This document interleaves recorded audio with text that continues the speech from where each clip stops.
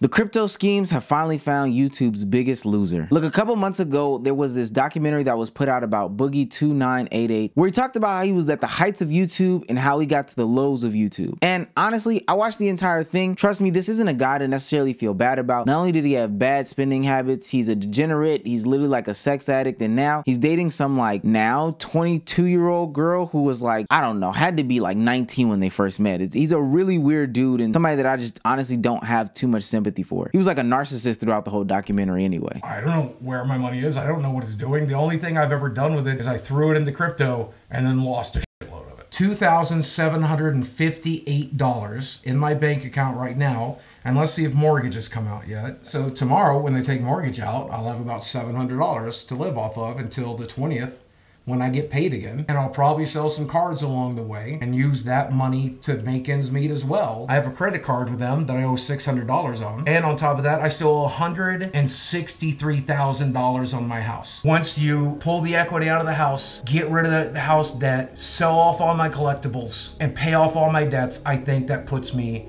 at zero dollars. Now, because of those bad financial decisions that he made, Boogie found himself to be in like tons and tons of debt. He was an OG YouTuber, but he still got different brand deals, different ad deals and stuff like that. He had different investments, but he blew all that cash. So when he got the opportunity to make the documentary, he definitely took it. It's a way to get his name back out there, tell your story, get a lot of people crying, and then ultimately do what the internet does, sell these people a scam. Now it's 2024, he couldn't do any regular scam. He had to do one related in crypto, and a lot of people don't know anything about crypto, but they feel the need to invest in it, and Optimus exposed him for scamming these people out of this crypto coin. Hey, what are you doing?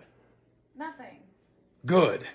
See, that's somebody that gets the fatty lifestyle. Do nothing and you'll be nothing. I see that a lot of you bought my coin because you want to be a broke, fat fuck like me. Well, guess what? I'm going to give you your first challenge. If you're holding my coin, your coin's value just went up. I had my team burn 50 million tokens. That way you have to work even harder to be a broke, fat fuck like me. A lot of people wanted to know how much coin I'm holding. 2% of the coin belongs to me. And people ask me, why didn't you sell it at the top? I'm riding it to zero, baby! Just like I did when I invested in storage, just like I did when I invested in Uni. Now, Boogie isn't the first one to get in what's called a scam coin. And a scam coin is a fake cryptocurrency made by a creator who's literally used to pump up the value or the fake value that's involved with the cryptocurrency, usually used with like another cryptocurrency as a form of exchange. And then they have people hold these things while they sweep the rug from underneath them and, and dump all the cash that's accumulated in the value of getting this fake currency. It's about creating fake hype. Now, he's definitely not the first one to do it and not even the first content creator to do it. Literally every time a content creator talks about having a crypto, it seems to be some sort of scam. Logan Paul was one of the biggest crypto scams that happened in recent memory. And trust me, that ended so badly, it's pretty disgusting. Back in 2021, Logan Paul started this thing called Crypto Zoo and he took a lot of money from a lot of people. And trust me, the updates on it were pretty bad. So what could you tell us about how you're trying to rectify this? Ariel, you know I love you, but because of the legal position of this and uh, if people cared, they could look into it.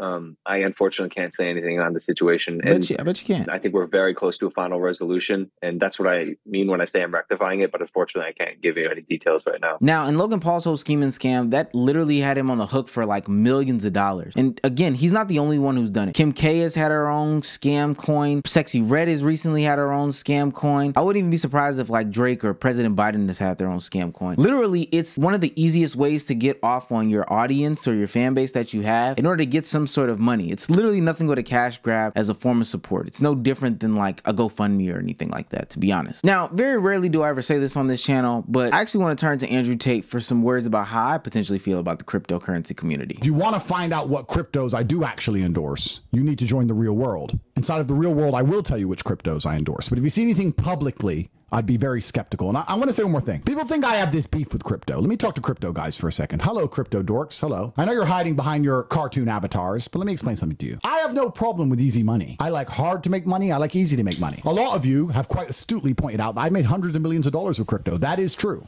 My problem with all you users is that you get rich off crypto, and instead of thinking I need to invest it myself so I'm no longer a dork, I need to get strong and smart and interesting, you just keep the money and continue to trade shit coins, sit in your mother's basement, jerk it off, But when you see any of this public garbage, I want to make it clear now because there's so many AI deepfakes and stuff around, they're going to try and do it to us. I think what Andrew Tate said is true to some extent. If you see these things go public and they have some sort of endorsement by some celebrity that is not necessarily in that space, you can automatically assume that it is some sort of scam or scheme, especially when we're talking about the likes of Boogie, somebody who's had financial troubles and has shown to be like a genuinely bad person on the internet before. Why would I ever think that he has some sort of good bone in his body when it comes to making cryptocurrency? He was trying to make us feel sympathy for him like just last year in his financial woes, and now all of a sudden he's so up enough that he can hop into the world of crypto and make his own coin? No, this he knows this is a scheme. He knows that people are gonna buy this, and he knows he's gonna pull the rug from underneath them. And maybe people would say that this is a more elaborate scheme than what some of the other content creators are doing. There's a streamer out there named Slicker who's been messaging dozens upon dozens of his audience members, asking them for some sort of donation, and apparently he scammed his way all the way up to three hundred thousand dollars. And he has no shame in his game. He's literally just walking around in public like nothing ever happened. That's how I do most things. Is like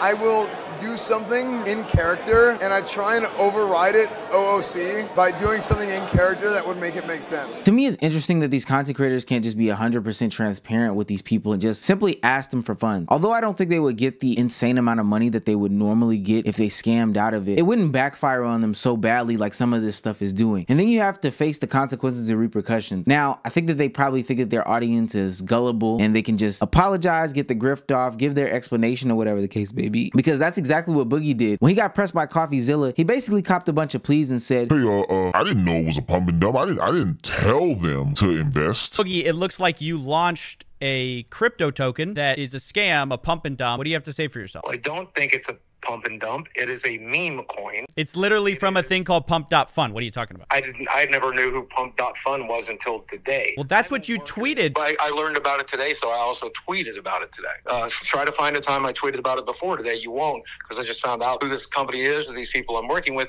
other than they came referred to me by Afroman's manager. Right, but you said before you posted the pump and dump, you said we're going to crush the internet, pump.fun. You didn't realize at that point you're doing a pump and dump? Not really, because again, if you watch the video that I launched this with, the entire video, the entire bit, the entire joke is I lost all of my money in crypto. Here's my shitcoin. If you want to be broke too, buy my shitcoin. But see, I hate when content creators always cop that plea as well. Okay, sure, you didn't tell them 100% outright verbatim to do X thing, but you know you have some sort of influence or power on their decisions or the actions that they take. And the way that you kind of loosely phrase stuff is very misleading, especially when we're talking about young and impressionable people who automatically gravitate towards you and your entertaining personality. Now, how these people find Boogie entertaining, I do not know. He's a narcissist and I will never understand why. But ultimately, content creating to you is scamming people out of hard-earned money, then I don't think you should be a content creator. You're just making a bad name for everybody else in the space. And some people might potentially want to put out some sort of thing, maybe a shirt or some merch or whatever the case may be. But God forbid these people tarnish the name of content creators and have people second guessing legitimate attempts to become other than content creators, have their other opportunities for people to get involved with. I don't know. It might be time for these people to get out of content creation because it's not for them. If you can't do it without scamming people, maybe you need to find a damn day job.